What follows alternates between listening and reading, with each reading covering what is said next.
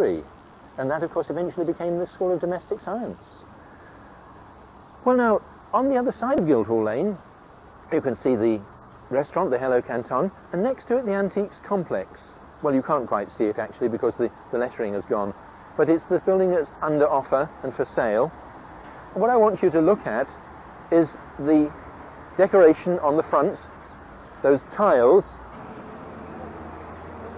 and also the doorway. The doorway to the, uh, the building, which was originally a provision merchant's uh, warehouse. And the provision merchants were Saul, sorry, Swain, Armand and Latchmore. And that's why you can see S, A and L in this ironwork on the gate. Now, the building was actually designed by somebody called Francis Drake, would you believe it?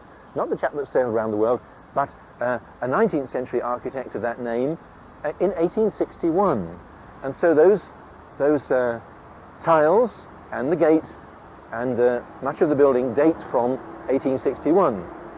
And it's shortly going to be transformed into yet another eating place, restaurant uh, in Leicester. Behind it's even more interesting to the archaeologists because it's actually got a medieval, complete medieval cellar under the floor.